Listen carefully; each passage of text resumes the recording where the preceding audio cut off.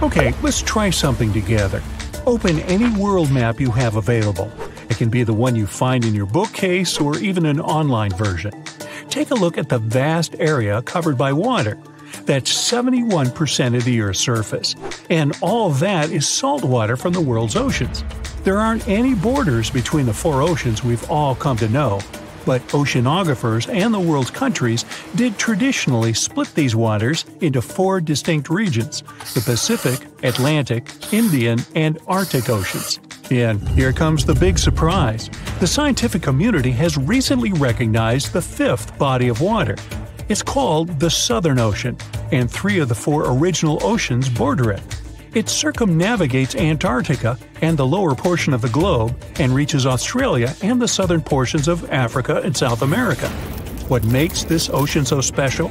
How did the scientific community eventually recognize it? And more importantly, what mysterious creatures does it hide? Let's find out. The Antarctic Ocean, or the Southern Ocean, was first mentioned back in 1937 in the second edition of the International Hydrographic Organization's Limits of Oceans and Seas. That's a mouthful. Back then, this organization considered that it was wrong to consider the Antarctic Ocean as its own distinct body of water. Why? Well, because at that time, an ocean was defined as water surrounded by land, and not water surrounding land. However, they reconsidered it in 2000 and voted to include this ocean in the official list. They also decided on the name Southern Ocean over the commonly used Antarctic Ocean. Finally, the organization concluded that the ocean should be considered as ending at the 60th parallel south latitude. But how old is this ocean? Well, many specialists believe it to have formed only 30 million years ago, which would make it the youngest of the world's oceans. It was created when Antarctica and South America moved away from each other during the early stages of our planet's development. This unique water current is a distinctive component of the Southern Ocean, as it helps keep the waters flowing around the icy continent. It's called the Antarctic Circumpolar Current, and it moves to the east with incredible speed. It's estimated that it moves an enormous amount of water per second. Some of the disputes regarding the Southern Ocean also have to do with this amazing current. Some specialists believe it separates the water of the Southern Ocean from the waters of the nearing Atlantic or Pacific. Only the rapid circulating water is considered the Southern Ocean. On the other hand, though, a handful of scientists say that the current actually makes the naming issue more complex by not limiting the waters to a specific geographic location. They believe that the waters in the current are different in terms of composition from waters in the northern oceans because they are way colder and have a lot more salt. Sailors don't really like this new body of water, mostly because of the frequent cyclone like storms that it experiences. They happen because of the big temperature difference between the ice packs and the ocean waves. As a result, these storms are very difficult to surpass for any sailors that happen to encounter them. I mean, really, these are the strongest winds found anywhere on our planet. More so, the vessels going through this area must also be wary of the frequent icebergs that may pop up every now and then, and also of the low surface temperatures. Just to paint you a better picture, some of the icebergs found here can span over several hundred meters and can exist all year round, regardless of the season. The latitudes from 50 to 70 have even earned the nicknames of Furious 50s or the Shrieking 60s because of these intense year round storms. Even the landscape is unique. They say the Southern Ocean has bluer glaciers, colder air, and more intimidating mountains than anywhere else in the world. Now, let's get to the mysterious creatures that call this place home, as thousands of species of wildlife live only here and nowhere else in the world. Let's start with the quirky sea pig, or one of the sea cucumbers as it's sometimes called. There are a lot of them in the waters off Antarctica. Why is it called that way, though? Because of its pink hue and round, bloated looks. On a closer look, it even appears to have a little tail and set of ears, just like a pig. They do help a lot with the quality of the waters here, filtering sand and sediment. Then there are the Hoff crabs that live on the floor of the Antarctic Sea. The Southern Ocean is a cold water environment, but crabs are more adapted to warmer waters. So, Hoff crabs gather around the warmth made by volcanic vents. They get the needed warmth and food here. You can find them in large piles, one on top of another, literally filling the space of the vent openings. Now, wonder how they got their unofficial name? Well, it's because of their apparent similarity to the actor David Hasselhoff, whose impressive chest reminded explorers of the crab. Okay. Ever seen a fish that's completely transparent? You'd have to get to these waters down in the south, but they do exist, and they are simply called the ice fish. You can basically see inside them, being completely clear and all. That's because of their see through skin and because they don't have any red blood cells. Their special power is that they can use antifreeze to prevent their bodies from going solid in the cold waters of the Southern Ocean. Instead of the standard thicker blood, the red one with hemoglobin, ice fish have thinner blood that moves around more easily throughout their bodies, hence giving them the much needed nutrients and oxygen. Now, is there a monster hidden in these waters? Some people believe this to be the case, and thanks to recent research, we even have video footage of it. Some Australian researchers stumbled upon a bunch of weird looking creatures that were swimming near the seafloor of the Southern Ocean. This pink blob like fish seemed to be propelled by a little pair of fins. To quote them on it, it seemed to resemble a chicken just before you put it in the oven. I'm not sure I even want to know what that looks like. It took them some time and research to identify the monster. It's a shy species of sea cucumber, known more by its uh, creative nickname, the headless chicken monster. We've known this creature has existed since the late 1800s, but we've barely ever seen it. And we've only ever captured it on tape once before when it was spotted in the Gulf of Mexico, which is quite far from the waters off the coast of East Antarctica. There's so much we don't know about this creature, like how many of them exist in our waters and how they live, eat, and reproduce. Ever heard of the emperor penguin? It's not a penguin species that just happens to have a crown on its head, if that's what you're thinking. But they are one of those penguins that inhabit this specific location and are also the largest species of their kind altogether. What makes them special is that they make their colonies on the sea ice, and most of them never step foot on land. More so, penguin dads lose almost half their weight while incubating the eggs. They're also fascinating swimmers, able to dive deeper and longer than any other bird, up to 700 feet. Not to mention, they can stay submerged for up to 18 minutes at a time as they gather food. We have yet to uncover all the secrets of the mysterious Southern Ocean, but it's clear that it's home to some unique and fragile marine ecosystems. Recognizing it as a new ocean could be one way to focus the public attention on it and help its conservation. When you look at the seas and oceans on a map, you might think that they just flow into each other. Like there's really only one big ocean and people just arbitrarily gave different names to its different parts. Well, guess what? You'll be amazed at how much more substantial the borders between them actually are. For example, the border between the Pacific and Atlantic Oceans is like a literal line between two different worlds. It looks like the two oceans meet at an invisible wall, which does not let them flow into each other and mix their waters. Why on earth does that happen? Obviously, there's no actual invisible wall inside, and water is just water. So, what could be interfering with its mixing? Well, the thing is that water isn't just water. There can be different kinds. The Atlantic and the Pacific Oceans have different densities and chemical makeups, the level of salinity, and other qualities one can see by their color that they are far from the same.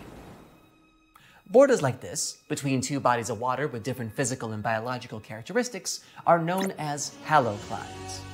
Jacques-Yves Cousteau discovered one of them while he was deep diving in the Strait of Gibraltar.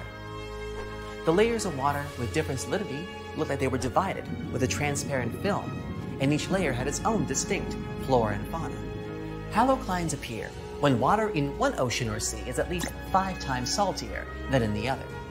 You can create a halocline at home if you pour some seawater or colored salty water in a glass and then add some fresh water on top of it. The only difference is that your halocline will be horizontal and ocean haloclines are vertical. For those of you who were paying attention in chemistry class, you might remember that if you have two liquids with different densities in one space, the denser liquid should eventually end up below the less dense one.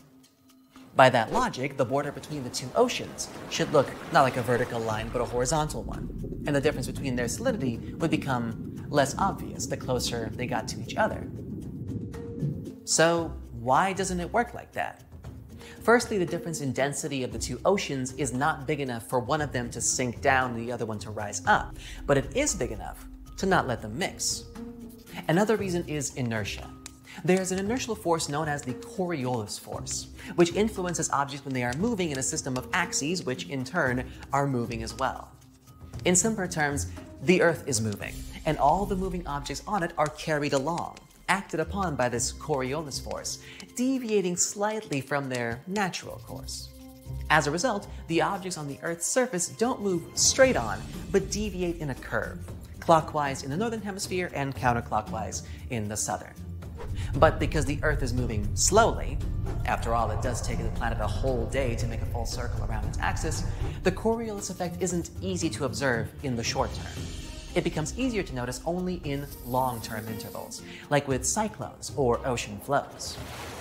And this is why the direction of flows in the Atlantic and the Pacific Oceans is different. This difference also doesn't let them mix.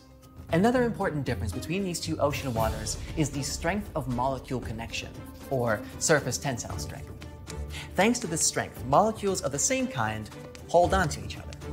The two oceans have totally different surface tensile strengths, which also doesn't let them mix. Maybe if the waters were completely still, they could gradually start mixing over time, but as they flow in opposite directions, they just don't have time to do this. We think that it's just water in both oceans, but its separate molecules meet for just a very short moment and hmm. then get carried away with the ocean flow. But if you think that it's only the Atlantic and Pacific Oceans that don't get along with each other, you are sorely mistaken. There's lots of places on the planet where the waters of the two seas or rivers don't mix, and for even more weird reasons. For example, there's a different kind of border called a thermocline. These are borders between waters of different temperatures like between the warm water of the Gulf Stream and the much colder North Atlantic Ocean. But the most interesting kinds are called chemoclines. These are borders between waters having different microclimate and chemical makeup. The Sargasso Sea is the biggest and most widely known chemocline. It is a sea within the Atlantic Ocean, which has no shores, but is very obviously distinct. You can't not notice it. Let's now take a look at some other spectacular clines we have on planet Earth. And just as a heads up, I might mispronounce some of these names coming up, so please forgive me. First up, we have the North and Baltic Seas. These two seas meet near the Danish city of Skagen. The water in them doesn't mix because of different densities. Sometimes you can see the waves of the two seas clash into each other, making foam. Their waters do mix very, very gradually. That's why the Baltic Sea is slightly saline. If there had been no water coming to it from the North Sea, it would have just been a freshwater lake. Next up, the Mediterranean Sea and the Atlantic Ocean. They meet at the Strait of Gibraltar and have both a different density and salinity. So there's two reasons their waters don't mix. Then we have the Caribbean Sea and Atlantic Ocean. The place where they meet is near the Antilles, and it's very easy to spot. It looks like someone has painted water with two different shades of blue. Another place where these two meet is Eleuthera Island of the Bahamas. The Caribbean Sea water is turquoise, and the Atlantic Ocean water is dark blue. There is also the Suriname River and the Atlantic Ocean, which meet near Paramaribo in South America. How about the Uruguay River and its afflux? These two meet in Misiones province in Argentina. One of them is claimed to be used in agriculture, and the other has an almost red tint to it because of loam during rainy seasons. Here's an interesting one the Rio Negro and the Solimões rivers, part of the Amazon River. Six miles from Manaus in Brazil, the Rio Negro and Solimões rivers flow into each other, but don't mix for about 2.5 miles. The Rio Negro is dark and the Solimões is light. They have different temperatures and speeds of flow. Then there's the Moselle and Rhine rivers, which meet in Koblenz, Germany. The water in the Rhine is lighter than that of the Moselle. Okay, How about three different bodies, like the Ilz, Danube, and Inn rivers? The junction of these three rivers is in Passau, Germany. The Ilz is a small mountain river to the left, the Danube is in the middle, and the Inn is a light river to the right. The Inn is wider than the Danube here, but is still its afflux. Take a look at the Alaknanda and Bhagirathi rivers, which meet in India. Alaknanda is dark and Bhagirathi is light. I really hope I got those right. The Irtysh and Ulba rivers flow into each other in Kazakhstan, near the city whose name is Ust Kamenogorsk. The Irtysh has clean water, and the Ulba's water is cloudy. Moving further east, the Jialing and Yangtze rivers meet in Chongqing, China. I really hope that's close at least. The Jialing is clean and the Yangtze is brown. The Irtysh River actually has another intersection with the Om River. These two rivers flow into each other in Omsk, Russia. Here, the Irtysh is cloudy and the Om is pure and transparent. Speaking of Russia, the Chuya and Katun rivers meet in the Altai Republic. The water of the Chuya has an unusual cloudy white color here and looks dense and thick. The Katun, by contrast, is clean and turquoise. Flowing into each other, they form a single two colored stream that does not mix for some time. On the other side of the globe, we have the Green and Colorado rivers. The place of their junction is National Park Canyonlands in Utah, USA. The Colorado River is brown and the green is, well, green. The corridors of these rivers go through rocks with different chemical makeup. That's why they have such a big contrast of colors. Last, but not least, we have the Rhone and Arve rivers. They flow into each other in Geneva, Switzerland. The Rhone is a pure river that flows out from the lakes of Geneva, while the Arve is cloudy and gets its water from the glaciers of the Chamonix Valley. This is by no means an exhaustive list of all the strange clines on our beautiful planet, but as you can see, it happens a lot more often than you think. These are the kinds of environmental oddities that can really teach you about the way the natural world works. If you're curious enough, of course. Thanks for watching. Oh, and let me know how well I did with the pronunciations. Constructive feedback is always helpful. Oh wow, there's a hole in the bottom of the ocean. It seems that the ocean has a leak. But it's not like a leak you would expect, where water is flowing out. It's more like a spring since water is flowing in, not out. This unique leak is something we know as Pythia's oasis. A grad student was the one who accidentally discovered it. He noticed bubbles that were rising to the surface.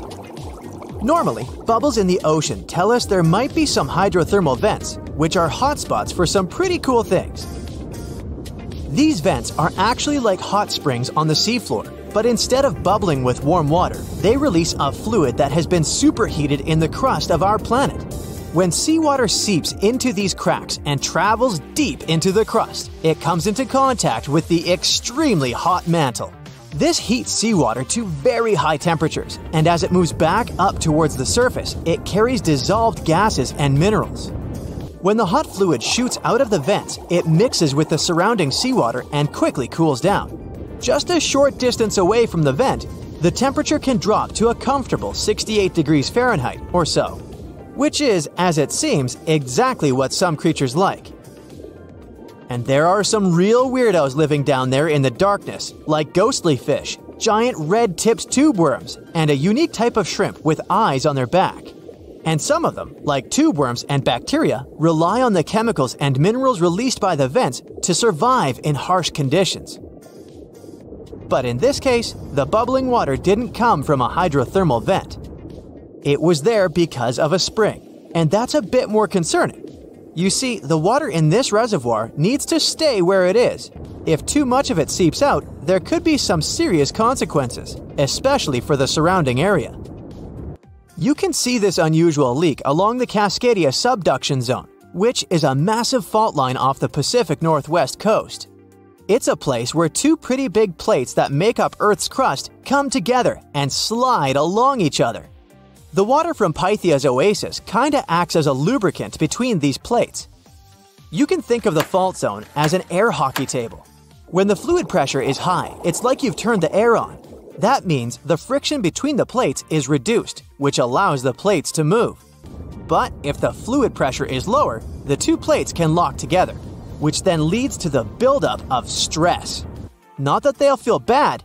In the context of tectonic plates, stress is some pressure or force that can cause deformation. And if this stress starts to build up, at some point, it's gotta go somewhere. When it's too much, it can trigger earthquakes and most likely not small ones. For example, a release of stress in the Cascadia subduction zone could lead to a magnitude 9 earthquake. For comparison, the biggest earthquake we've ever recorded happened in Chile in 1960, and it had a magnitude of 9.5. The damage was enormous. So, we hope the water will stay in its reservoir and keep maintaining the delicate balance between the tectonic plates. We've explored only 5% of the ocean. Who knows how many cool things are there at the bottom, waiting to be found? For example, check out these mysterious holes scientists have stumbled upon in the depths of the Atlantic Ocean, near the Azores. They're neatly aligned and are about 4 inches apart, or in some cases, even several feet. They resemble punctures left by a sewing machine. Some think these holes could have a biological origin, for instance, some fish may have made them while walking along the seafloor.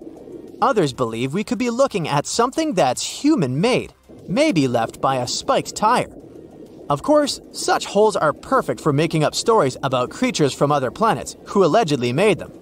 Or maybe even legendary monsters, like that one from Loch Ness. It's definitely hard to explain such symmetry of the holes, but one deep sea biologist offered a pretty good explanation. He said there could be an animal burrowing beneath the sediment, and from time to time, it could make little chimneys just to get access to clean water circulation in its small burrow.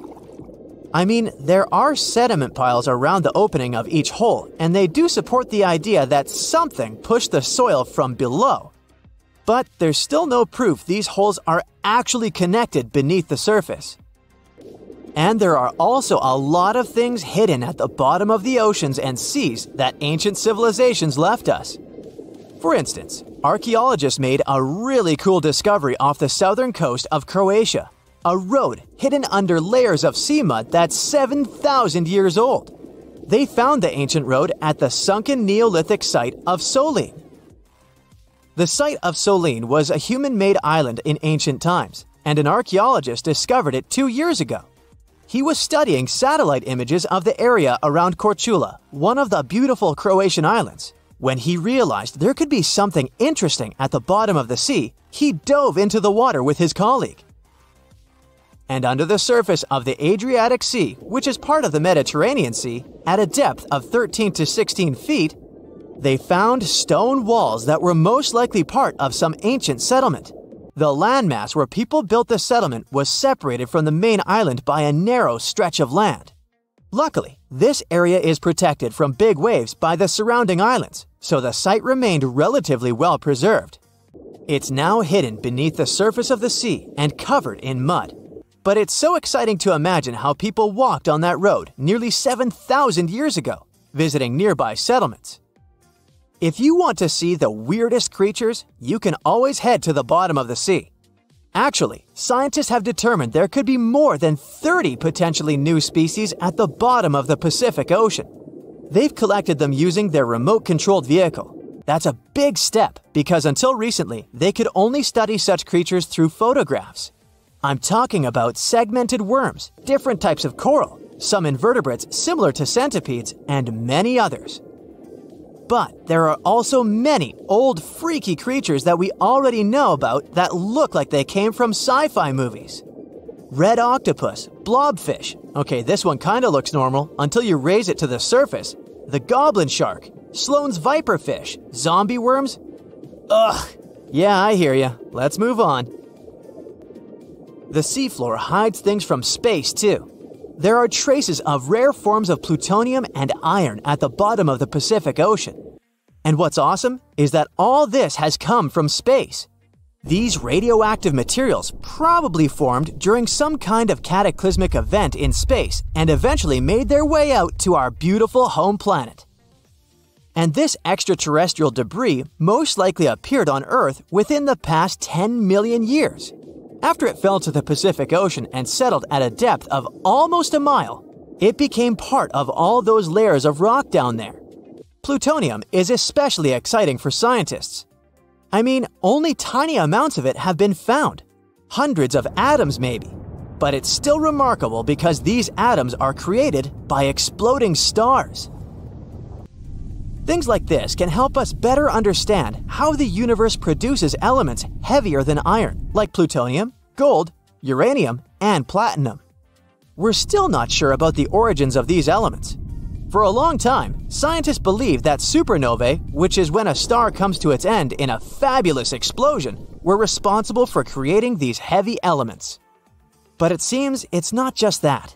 Some other cosmic events, such as the collision of neutron stars, which are super dense collapsed stars, or some rare types of supernovae, could also be involved. Whoa, let me get my popcorn! How would you describe the shape of the planet we live on? It's definitely round, but it's not a perfect sphere. Because of the force of Earth's rotation, it's slightly flat on the north and south pole. But there's more to it. The planet's rotation causes its sides to bulge outwards. The best term to describe our home planet is ellipsoid. Earth is nothing more than an oversized lumpy potato. These are the words of Attreyee Ghosh, a solid Earth geophysicist from Bangalore. She and her team have been studying something called the Indian Ocean Gravity Hole. Sounds like the scenario for a science fiction movie, but it's very much real. We think of gravity as something consistent. If you drop a pen from your hand in Los Angeles and in Perth, they're going to fall to the floor at the same time.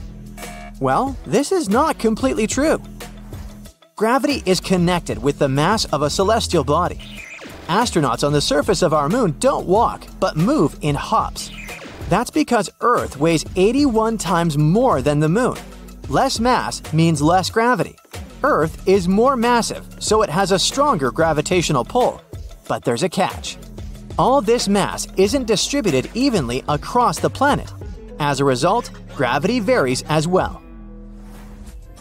NASA has been mapping Earth's gravity field since 2002 using twin GRACE satellites. The maps they produced show where gravity is stronger and where it's weaker. Mountain ranges such as the Himalayas contain a lot of mass. This means they generate a stronger gravity field. The opposite happens in ocean trenches. The deepest of them is the Mariana Trench in the Pacific Ocean. You could almost stack two Mount Kilimanjaros inside it. The low concentration of Earth's mass below it means that the gravity field here is weaker. Places on the globe where huge chunks of mass are missing are called geoid lows. A geoid is an imaginary surface that follows the outline of sea levels around our planet. Imagine the Earth without any land. That shouldn't be too hard since the nickname of our home is Blue Planet. Now draw a curvy line along the surface of the oceans, and you get a geoid. In reality, the line stretches across oceans, as well as land masses. Scientists use this imaginary line to calculate the depth of tremors or objects that occur underground. When the wavy line goes down, that's a geoid low. The biggest of them sits at the bottom of the Indian Ocean. The first to discover it was a Dutch geophysicist in 1948 he was performing a gravity survey from a ship. The man noticed that sea levels dipped over 320 feet below the global average. The gravity hole got the official name Indian Ocean Geoid Low. It spans well over a million square miles off the southern coast of India. If you went out at sea in the middle of the gravity hole, you wouldn't notice much, just an endless ocean as far as the eye could see. The only way to measure the dip in gravity is through extensive geophysical measurements and calculations. The concept of a gravitational hole existed for nearly two centuries in the scientific community, but researchers could study it in high detail only after satellite measurements became possible in the late 20th century. A team of Indian scientists was determined to explain the anomaly that had been puzzling geologists for decades. They used supercomputers to simulate the seismic activity that formed our planet. A total of 19 simulations revealed how tectonic plates moved across the span of over 140 million years. This was during the Cretaceous period, the time when T. rex roamed the Earth. Nearly a third of the possible scenarios produced a geoid low, similar to the one in the Indian Ocean. The most important factor in these models was the presence of magma plumes. These are places inside the Earth's mantle where lava flows upwards. The mantle sits between the planet's outer core and the thin crust we walk upon. The magma in the mantle plume is hotter than the surrounding rocks. The heat it generates melts and thins the crust. This creates hotspots that are brimming with volcanic activity. Yellowstone National Park and the Hawaiian Islands sit atop such hotspots. The Indian team of scientists linked the presence of magma plumes to the formation of the geoid low. Their source was an ancient ocean that disappeared tens of millions of years ago. It was located where the Himalayan mountain range sits today. Evidence of this lie in the marine rocks researchers found on the world's tallest mountains. The oceans ceased to exist when India's landmass separated from the supercontinent called Gondwana. It drifted north and merged with the rest of the Asian continent. At the time, the Eurasian supercontinent was called Laurasia. The Indian tectonic plate went down inside the mantle. It ended up under the African continent. This landmass contained a lot of crystallized material, which was quite dense.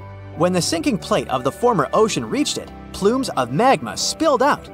As a result, low density materials ended up closer to Earth's surface. Density is used to calculate mass, and if you remember our lesson in physics from the beginning of the video, less mass translates into a weaker gravity field. Scientists believe this is how the geoid low in the Indian Ocean formed some 20 million years ago. At this point in prehistory, the Earth looked a lot like it does today. There were vast grasslands, and whales swam in the seas. Geophysicists who created the computer model cannot tell for sure what will happen in the future. Ghosh thinks it's possible that the gravity hole in the Indian Ocean will remain in place for a long time. But plate movements can also cause the anomaly to fully disappear in the coming eons. Earth's tectonic plates are constantly shifting.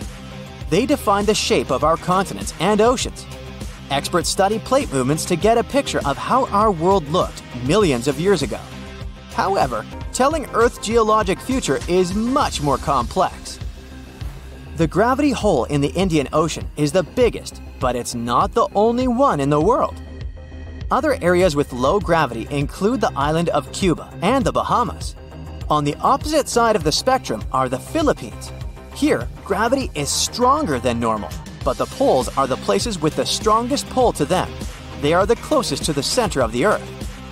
If you stand directly on the North or the South Pole, you are 3,950 miles from the planet's core. At sea level on the equator, this distance increases by more than 13 miles. Earth's gravitational field also has an effect on your weight. At the equator, you weigh 1% less than you do on the poles. The South Pole is maybe more suitable for this experiment because there is actually ground there. But gravity is the strongest at the North Pole in the middle of the Arctic Ocean. This is where scientists in 2013 recorded the highest gravitational acceleration on the planet. This is the rate a falling object speeds up in free fall. The acceleration depends on the strength of gravity. When a team of researchers from a university in Perth set out to map these gravity changes, they discovered something interesting. Gravitational acceleration was the highest at the surface of the Arctic Ocean. This is something they expect to find, but the location of the lowest acceleration point amazed them. It wasn't on the equator as they assumed. The spot lay more than 600 miles south of it at Mount Huascarán in Peru. Scientists believe that the mountain's height had an effect on the phenomenon this peak in the Andes is the highest point in the South American country. Hypothetically speaking, if a human falls from a height of 330 feet here, they will reach the ground 16 milliseconds later than if they performed the same stunt in the Arctic. In 1945, five TBF Avenger aircraft took flight for a routine training exercise around the Bermuda Triangle. In the middle of the exercise, the planes were struck by intense rain and heavy winds, despite the clear weather forecast. The pilots became extremely disoriented and radioed the base to report that their navigational equipment had stopped working. The last thing the base heard was, when the first plane drops below 10 gallons, we'll all go down together, and then static. The five planes and their 14 crew members were never seen or heard from again. On his very first voyage to the New World in 1492, Christopher Columbus sailed through the Bermuda Triangle. Columbus reported that one night, when he was on the deck of the ship, he noticed a giant light appear in the distance, unlike anything he had ever seen before. Columbus looked at his compass for direction, and it gave off erratic readings.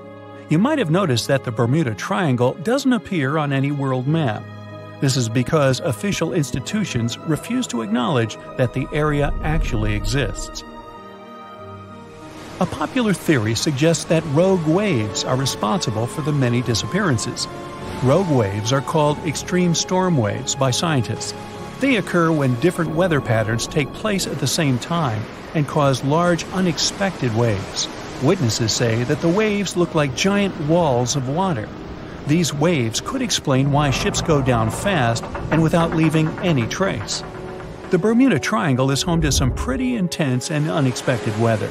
Storms build up quickly and unexpectedly, then disappear soon after.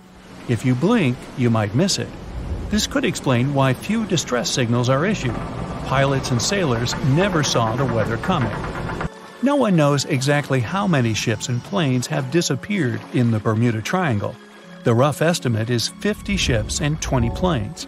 Most of the time, the disappearances had no explanation and no wreckage has ever been left behind. Another bizarre theory trying to solve the Bermuda Triangle mystery comes from Charlie Berlitz. He insists that the area is home to the lost city of Atlantis. The missing ships and planes and malfunctioning equipment, according to him, were all caused by rays of energy let out by the special energy crystals that power Atlantis. While this sounds silly, Berlitz's theory was convincing enough that over 20 million people bought his book worldwide. In the year 1800, a large sailing vessel called the USS Pickering departed from the U.S. on its way to the West Indies. The ship sailed into the Bermuda Triangle along with its 90 man crew and was never heard from again. The USS Pickering was the first ever confirmed ship to vanish in the Bermuda Triangle. It's believed that the ship was taken out by a storm, but because no wreckage was ever found, we'll never know for sure. When the TBF Avenger planes went missing, a massive search operation was conducted. Boats and planes searched the Bermuda Triangle for any signs of the aircraft. One of the boats searching was a PBM 5 Mariner airboat. The airboat took flight at 7:27 p.m. and called in a routine radio message 3 minutes later. Then it was never heard from again. No trace was ever found of the rescue airboat or the 5 Avenger aircraft. An enormous investigation was launched into the disappearance of all these vehicles, but nothing was ever discovered. This particular area of the ocean is one of the most heavily traveled shipping routes in the world. Some skeptics believe that this fact solves the mystery. Statistically, the busier the area, the higher the frequency of accidents and disappearances. While this makes sense, it's not the frequency of disappearances that's responsible for the mystery of the Bermuda Triangle. It's the lack of explanation or wreckage found. On the ocean floor, decomposing organisms let off large concentrations of methane gas that gets trapped under the water. This gas can build up until, boom, it ruptures. The gas surges up to the surface and erupts. If a ship was in the area of one of these ruptures, the water would become much less dense and cause the ship to sink rapidly and without warning. Scientists believe this could be the cause of the many disappearances in the Bermuda Triangle. While this theory makes a lot of sense, it doesn't seem too likely. The U.S. Geological Survey has stated that no large releases of gas are believed to have occurred in this area for the past 15,000 years. The ocean floor is made of rocks containing a lot of magnetite. It's more like iron. Magnetic fields react to high concentrations of magnetite on the ocean floor, which may start a sort of conflict between the two. It can often lead to various weather anomalies and, as a result, navigation issues. And naturally, any changes in the ocean floor or the Earth's magnetic fields influence the Bermuda Triangle a lot. Since the magnetic field is constantly moving, it might be also taking the Bermuda Triangle with it. Now that people know where the triangle is, it's easy to avoid it. It supposedly moves eastward together with the magnetic poles. But scientists still can't answer where exactly it will be in a couple of years. Some people blame all the disasters on the extraterrestrial paranormal activity. Others suppose it's all about raging natural phenomena. There's another triangle in Lake Michigan. Just like the one near Bermuda, the Michigan Triangle got its shady reputation for some disappearances. The first recorded one dates back to 1679. A large vessel, one of the largest of that time, set out on an expedition, yet once it got in the sinister triangle, it never came back. Much later, an aircraft disappeared in this triangle. The skies are usually very clear there, but back in 1883, some people witnessed abnormal things in the area. Some claim to have seen large blocks of ice falling from the skies, and the crew even managed to save one as hard proof. Meanwhile, the Pacific Ocean Mystery Area is another sinister triangle. Off the south coast of Japan, not far away from Tokyo, there's a sea where plenty of ships met their doom, disappearing without a trace in these waters. They call it the Devil's Triangle. Some scientists believe the cause of anomalies is the environmental changes. Also, there's a really high concentration of methane hydrates on the bottom of the ocean in the Pacific Triangle area. You're deviating from your original course and sailing in the wrong direction. There's the Caribbean Sea near the triangle, peppered with small islands. The seafloor here isn't deep. The ship can get in shallow waters. And now the ship is stuck on a shoal, and you have no idea where you are. If this were the 21st century, the ship's captain would be able to reach the shore using GPS and other modern navigation. But the most interesting thing is that the compass would work correctly this time, since the magnetic North Pole hasn't already coincided with the true one for a long time in the territory of the Bermuda Triangle. The agonic line is somewhere far away from here. There are no problems with navigation now, but for some reason, this is where ships disappear. In fact, not just here. Throughout the Atlantic Ocean, there are places where many more ships were gone. The Bermuda Triangle is not even in the top 10 of such places. One of the main reasons why many ships are lost here is that one of the most popular shipping routes in the Atlantic passes through the Bermuda Triangle. And the more ships in one place, the more shipwrecks. Simple probability. Then, it just starts getting weird. Other theories say that there's a space time rift in this region. Ships and planes fall into this rift and end up in the past or the future. But for some reason, there's not a single proof of this myth. There's no reason to think that the rift is hidden somewhere here. The base of an extraterrestrial civilization is located in the Bermuda Triangle. Visitors from other galaxies steal sea vessels along with the crew, so no one finds the wreckage of the ships. This is also a popular myth that has no scientific justification. The Kraken lives somewhere in the triangle. It's a huge squid that sinks ships and also is a legend that sailors tell each other. However, gigantic squids live in the depths of the ocean. They can grow to the size of a half a train car, but no cases have ever been recorded where they sunk a large vessel. And in the area of the Bermuda Triangle, they have never ever been seen. People in the past didn't know about the existence of these creatures, so when they saw them for the first time, they described them as huge, terrible monsters. Giant squids are some of the most elusive creatures on Earth, and scientists had to use sonar equipment to find them. They don't like to leave the dark depths and are likely to be afraid of the sound of any ship. So, that should squash the squid as a suspect.